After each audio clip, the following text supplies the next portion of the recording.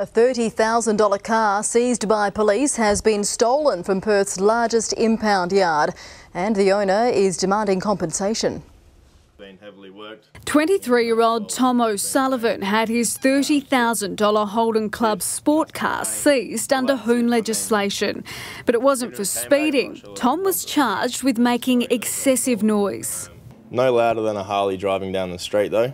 Um, I think it's pathetic, really. I'm not a hoon. The car was taken to WA's largest impound yard in Kewdale. Two days later, it was stolen.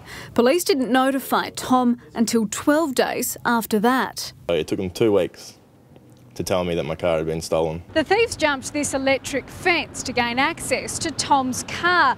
They then grabbed the keys, which were sitting on the bonnet, and managed to make their way through this security gate without doing any damage.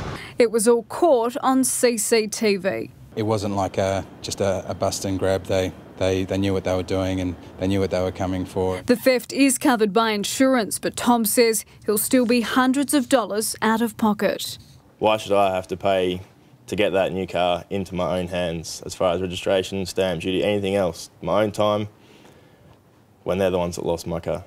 Police say once a car has been impounded, it is no longer their responsibility. Rebecca Munro, 10 News.